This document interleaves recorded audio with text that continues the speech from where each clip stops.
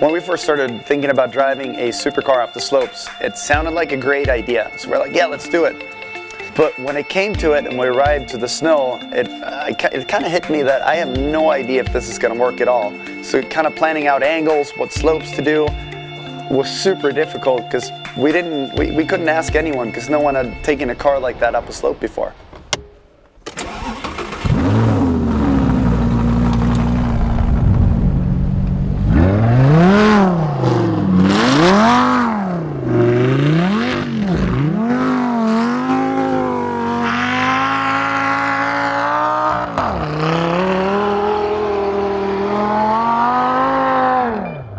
Then we brought the heli up in the air, and all of a sudden I have a heli in front of me, and I'm like, I can't hold back now. Like, if that heli's there shooting, I need to hit the full gas. So I ended up going a lot faster than I would have liked to, because I mean, I was not in control that whole time.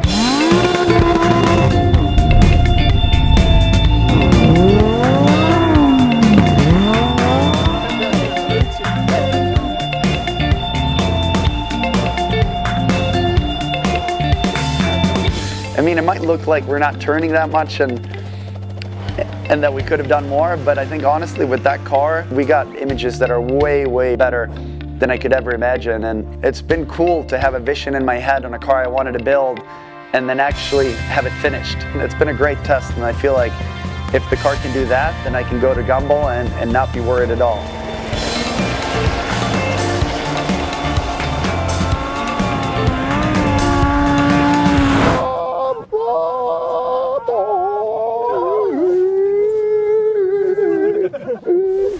So we're done. It's a wrap. We got all the shots. We're packing up.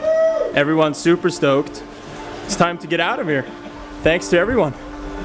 To be honest, taking this to the next level is not easy at all. I mean, it's basically impossible, but I have a couple ideas. I was sitting in the shower this morning and I thought of a couple things that could add to this video and you know, I want to make another one, but we need to make sure that it's way cooler and has something different in it.